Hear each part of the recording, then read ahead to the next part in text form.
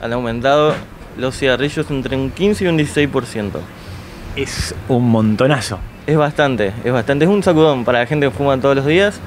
Se va a sumar. La gente que fuma no va a dejar de fumar, pero sí, se suma al mes.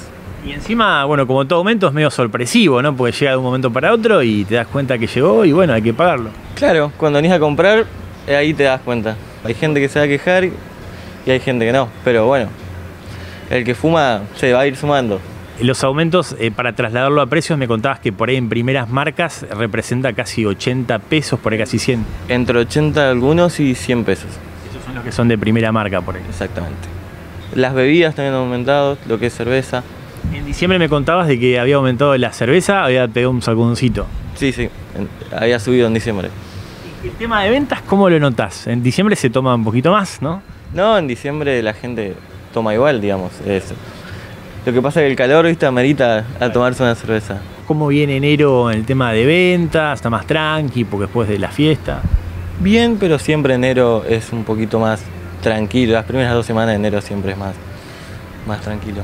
¿Te compran algo más o el que viene a comprar cigarrillos o compra cigarrillos también?